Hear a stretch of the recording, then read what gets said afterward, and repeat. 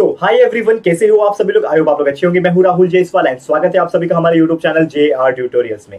Friends आप लोग अगर कोई भी टेंथ स्टैंडर्ड के बोर्ड के स्टूडेंट हो, या फिर ट्वेल्थ स्टैंडर्ड के बोर्ड के स्टूडेंट हो, या फिर आप कोई भी नॉर्मल साधारण से स्टैंडर्ड के स्टूडेंट क्यों ना हो, यानी कि आप अगर सातवीं में हो, आठवीं में हो, नौवीं में हो, या फिर इलेवेंथ में हो, यानी हर स्टैंडर्ड के स्टूडेंट्स के लिए इंग्लिश ज़रूर से होता है।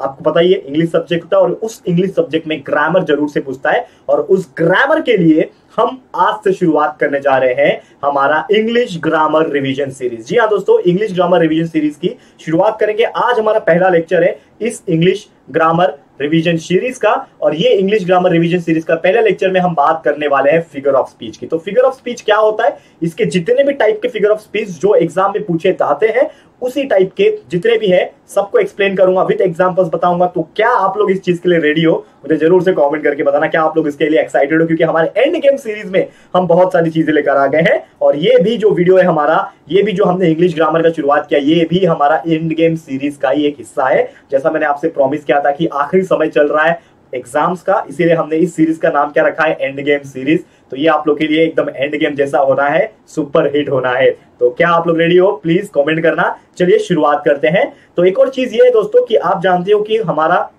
एक टेलीग्राम और इंस्टाग्राम का ग्रुप है। तो इंस्टाग्राम का मेरा पर्सनल आईडी ये रहा, वैसे जे आर ट्यूटोरियल्स को ऑफिशियल वाला भी है तो वो भी आप फॉलो कर सकते हो, लेकिन ये मेरा इंस्टाग्राम का पर्सनल आईडी है, जिसमें मैं ज़्यादा एक्टिव हूँ और ज़्यादा लोगों को रिप्लाई करता हूँ मेंशंस आप लोग करते हो तो मैं रीमेंशन करता हूँ और आप लोग के सवालों के जवाब भी देता हूँ। तो अगर आपने मुझे फॉलो नहीं किया है तो प्लीज़ मुझे इस आईडी पे ज़रूर से फॉलो कर लेना। Link is given is description also description box में भी लिंक है, वहाँ पे मुझे फॉलो कर सकते हो। दूसरा इंपॉर्टेंट चीज़ जो मैं बता रहा हूँ जे आर ट्यूटोरियल्स नाम का हमारा एक टेलीग्राम का ग्रुप है दोस्तों तो वहाँ पे टेलीग्राम ग्रुप को, हमारा जे आर ट्यूटोरियल्स के ग्रुप को ज्वाइन कर लेना, क्योंकि वहाँ पे हमने इंपॉर्टेंट पीडीएफ जो इंपॉर्टेंट क्वेश्चन है, जो इंपॉर्टेंट डेली टास्क है आप लोग के लिए, चाहे आप कोई भी स्टैंडर्ड के हो बोर्ड के हो, हर एक को मैं दे रहा हूँ यहाँ पे तो आपके लिए बहुत ज़्यादा बेनिफिशियल है तो प्लीज़ जाइए, फटाफट से ज्वाइन कर लेना, उसका लिंक भी आपको डिस्क्रिप्शन बॉक्स में मिल जाएगा, ठीक है? चलिए, और एक चीज़ यहाँ पे अगर मैं आपको बताने की कोशिश करूँ, जो कि आपको नज़र आएगा यहाँ पे, जो कि है चेक प्लेलिस्ट क्यों मैं आपको बोल रहा हूँ प्लेलिस्ट को चेक करने के लिए? क्योंकि आप एक चीज़ समझते हो कि हमने आपके लिए पूरा का पूरा वीडियोस ऑलरेडी बनाया था। और रही बात इंग्लिश ग्रामर की तो ऑलरेडी आप समझते हो कि इंग्लिश ग्रामर का एक अलग से प्लेलिस्ट हमने क्रिएट किया और उसमें लगभग आप देखोगे तो 30 से ज़्यादा वीडियोस हमारे पास प्रेजेंट है और वो 30 से ज़्यादा वीडियोस में आपको हर टॉपिक के वीडियोस देखने मिल जाएँगे। इसीलिए मैं आपको ये चीज़ बता रहा हूँ कि प्लेलिस्ट भी चेक कर लेना और बाकी जो सब्जेक्ट है उसके तो है ही ऑलरेडी ठीक है? ताकि आप लोग का पूरा का पूरा जो एंटायर सिलेबस के वीडियो है अदर अदर सब्जेक्ट्स के, हिंदी माफ़ कीजिएगा, हिंदी नहीं है। That is history geography political science science one science two math one math two ये सबके वीडियोस ऑलरेडी अवेलेबल है, ठीक है? तो चलिए, अभी टाइम ज़्यादा वेस्ट नहीं करेंगे, आपको सीधा टॉपिक पे लेकर आते हैं, जो कि है फिगर ऑफ़ स्पीच तो फिगर ऑफ़ स्पीच की अगर मैं बात करूँ यहाँ पे, आप एक चीज़ समझ जाओ कि फिगर ऑफ़ स्पीच का बेसिक क्या मतलब क्या होता है? कि figure of speech is a technique क्या टेक्निक है? एक ऐसा टूल है जिसके वजह से क्या होता है? One deviates from the ordinary expression यानी कि हम ऑर्डिनरी एक्सप्रेशन क्रिएट कर सकते हैं ताकि हम क्या प्रोड्यूस कर पाए? एक बेटर लिंग्विस्टिक इफ़ेक्ट क्रिएट कर पाए। यानी कि जब भी हम लोग बात करते हैं, जब भी हम लोग कॉन्वर्सेशन करते हैं तो कुछ हम लोग वर्ड्स बहुत डिफरेंट यूज़ करते हैं। आपने देखा होगा ना, कुछ इंडियंस जो होते हैं ना, वो इंग्लिश जो बोलते हैं तो साधारण लगता है, लेकिन वही कोई अंग्रेज़ इंग्लिश बोलता है तो उसके बातों से कुछ अलग झलक सुनाई देती है क्योंकि they are using some other kind of word and वही वर्ड जो होता है ना, एक स्पीच को फिगर करता है। That is nothing but the figure of speech इसका एक और डेफिनेशन है। वैसे डेफिनेशन एग्ज़ाम में नहीं पूछता जस्ट आपको मैं कन्वीनियंस के लिए बता रहा हूँ, ताकि आपको उसका मीनिंग भी पता चले, क्योंकि हमारा मकसद आपको कंसेप्चुअल नॉलेज देना भी होता है। ठीक है? तो इसका फिगर ऑफ़ स्पीच का बेसिक मीनिंग क्या हो जाएगा? A figure of speech is generally use in poetry poetry में सबसे ज़्यादा यूज़ होता है, ताकि पोएम्स को भी ब्यूटीफाई किया जा सके, और ज़्यादा बेहतरीन, सुंदर बनाया जा सके, और कुछ इंपॉर्टेंट फिगर ऑफ़ स्पीच जो है, वो हम लोग यहाँ से प्रोवाइड करेंगे। तो सबसे पहला जो फिगर ऑफ़ स्पीच आपको यहाँ पे नज़र आएगा, जिसका नाम है दोस्तों परसोनिफिकेशन नाम से ही पता चलना चाहिए दोस्तों परसोनिफिकेशन का मतलब क्या होता है?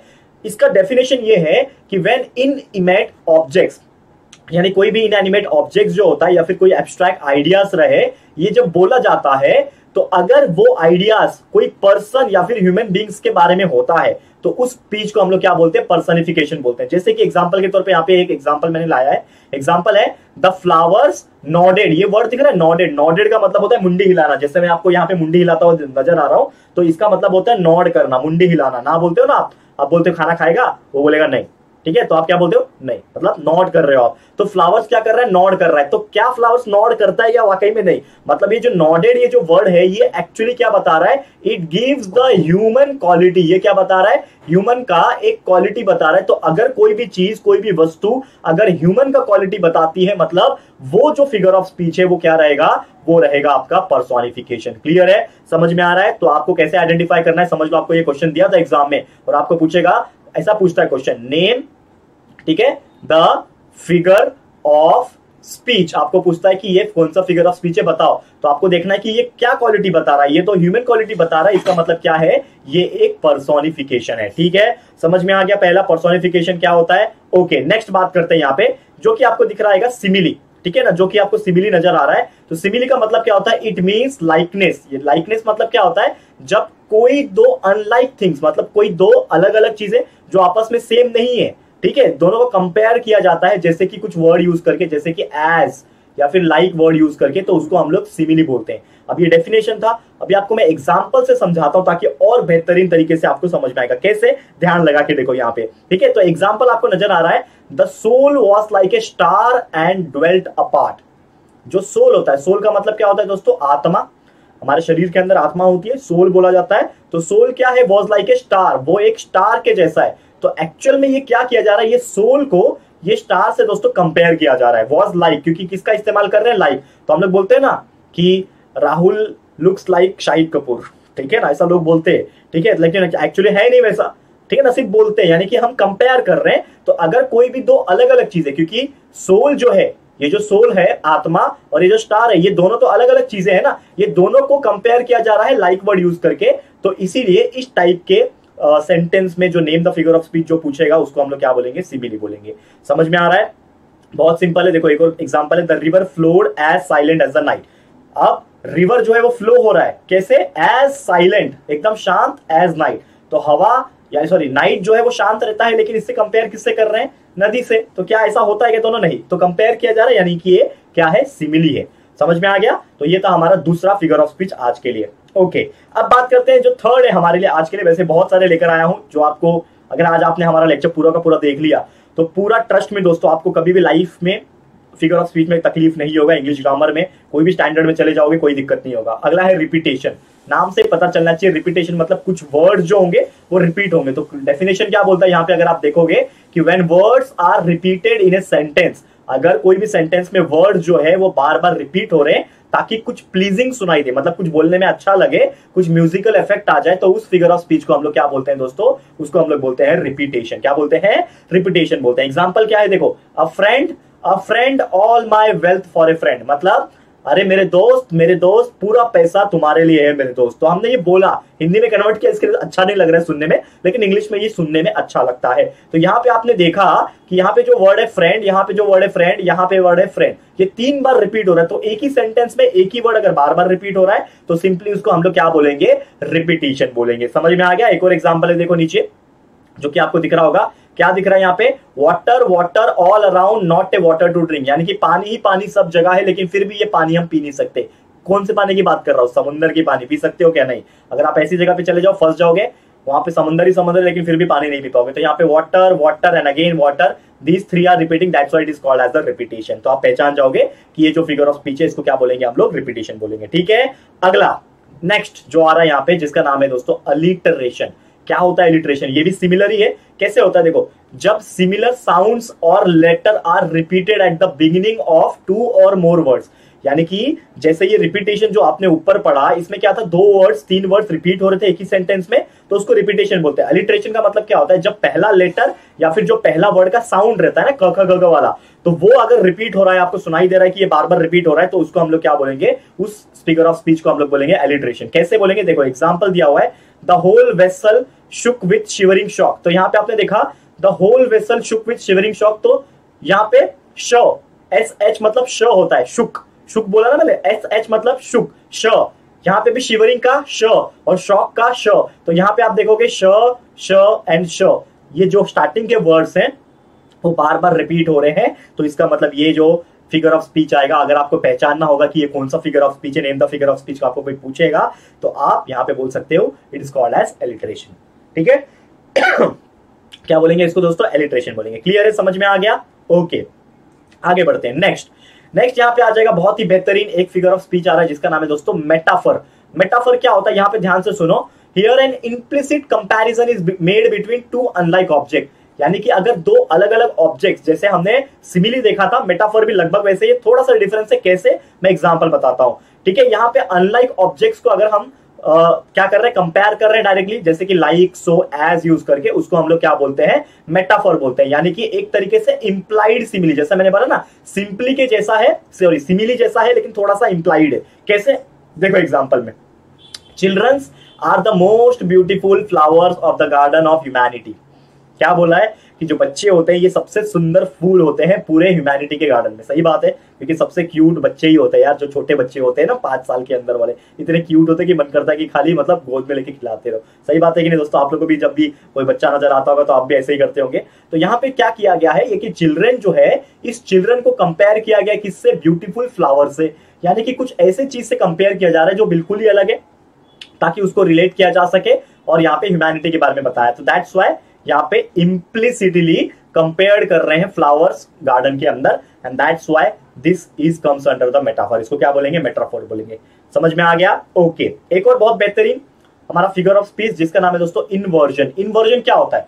यहाँ पे देखो डेफिनेशन क्या बोलता है? The normal order of the words is suitably rearrange for the sake of emphasis और राइम यानी कि कुछ वर्ड जब हम लिखते हैं हम लोग जब सेंटेंस फॉर्म करते हैं, जब वर्ड्स लिखते हैं तो उसका क्या होता है? एक पैटर्न होता है, एक ऑर्डर होता है नॉर्मल ऑर्डर होता है, ठीक है ना? What is your name name is what ऐसा नहीं बोलते। हम लोग क्या बोलते हैं? वॉट इज़ योर नेम मैं क्या बोलूँगा? माई नेम इज़ राहुल ऐसा मैं बोलूँगा what is your name my name is Rahul मैं ऐसा नहीं बोलूँगा name my is Rahul name my is Rahul my name is Rahul बोलूँगा। तो कुछ ऑर्डर होता है, कुछ पैटर्न होता है तो अगर ऐसा हम लोग पैटर्न को लिख रहे हैं तो उसको हम लोग इन्वर्जन बोलेंगे। जैसे कि यहाँ पे आप देखोगे, यहाँ पे लिखा एग्ज़ाम्पल के तौर पर हार्ड वाला लेता हूँ मैं इजी नहीं लेता हूँ, देखो। For oft when on my couch I like ठीक है? तो इसको अगर मैं प्रॉपर तरीके से करने की कोशिश करूँ नॉर्मल ऑर्डर ऑफ़ जो वर्ड रहेगा, वो क्या रहना चाहिए?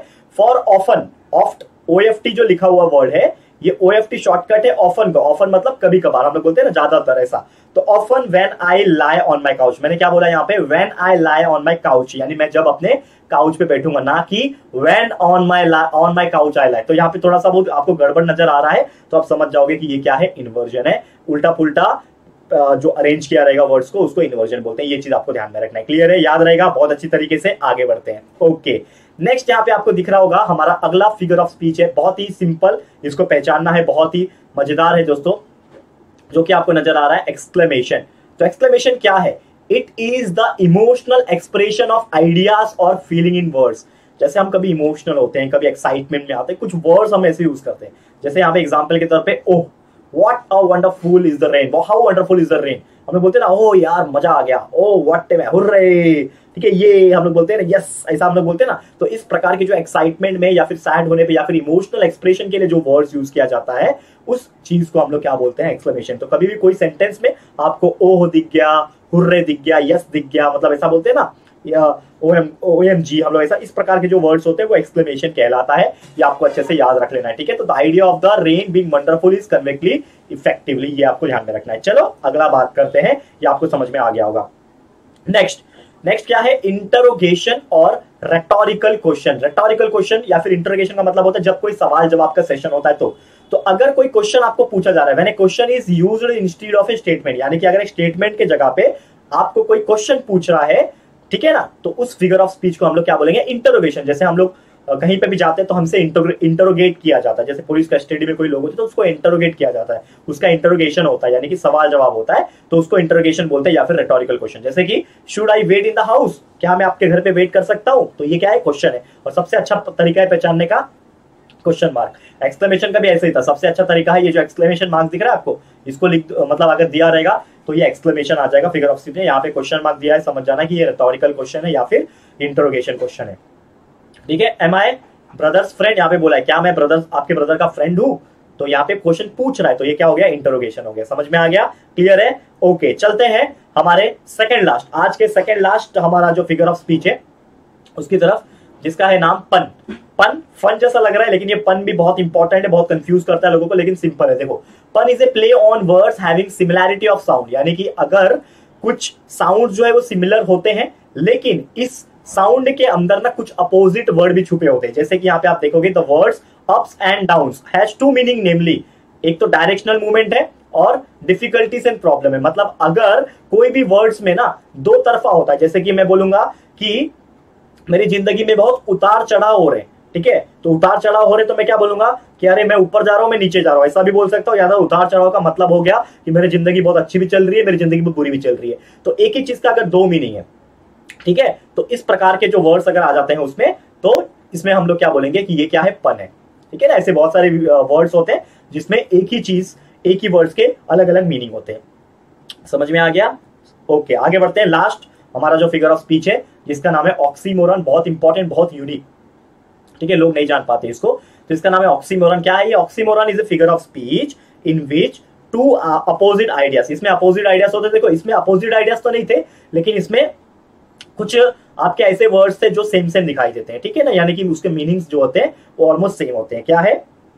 ऑक्सीमोरन में क्या है कि उसमें दो अपोजिट आइडियाज़ आ जाएँगे। जैसे एग्ज़ाम्पल है this is nothing but living death देखो अंडरलाइन किया हुआ है लिविंग डेथ यानी ज़िंदा भी रहने की बात कर रहा है डेथ की भी बात कर रहा है। तो लिविंग डेथ ये दो वर्ड्स एक साथ आ रहे हैं तो कैसे हो सकता है? तो दो अपोजिट वर्ड एक साथ जुड़े रहते हैं तो उसको हम लोग क्या बोलेंगे कि ये जो सेंटेंस है, ये ऑक्सीमोरॉन है। ठीक है ना? तो समझ में आ गया होगा आपको बहुत अच्छी तरीके से। तो ये थे टोटल हमारे आज के 10 से 12 most important name the figure of speech जो उसमें से एक या दो तो आपके एग्ज़ाम में पूछते हैं, चाहे आप कोई भी स्टैंडर्ड के हो। खासकर बोर्ड वाले स्टूडेंट्स ये सब चीज़ को बहुत अच्छे से प्रिपेयर कर लेना। आप बारहवीं के स्टूडेंट हो, चाहे दसवीं के हो, चाहे आप साइंस के हो कॉमर्स के हो, कोई भी हो टेंथ के तो इंग्लिश ग्रामर एक ही होता है तो उसमें तो आते ही आते हैं डूएस डायरेक्टेड में, चाहे आप सातवीं, आठवीं, नौवीं के हो, उसमें भी आपको name the figure of speech देखने मिल जाता है। तो ये जितने भी मैंने कराया, सिर्फ़ इतना भी देख लो तो आपका फिगर ऑफ़ स्पीच जो है टोटल कंप्लीट हो जाएगा। और यही था हमारा आज का वीडियो लेकिन आपको कोई भी चिंता करने की ज़रूरत नहीं है। हम इसके बाद कंटिन्यू इंग्लिश ग्रामर का। सीरीज़ आपके लिए कंटिन्यू करेंगे। इंग्लिश ग्रामर के वीडियोस आते ही ऐसे आते रहेंगे। आज तो फिगर ऑफ़ स्पीच कंप्लीट कराए तो ऐसे कई सारे इंपॉर्टेंट टेंसेस के टॉपिक बचे हुए हैं, ठीक है?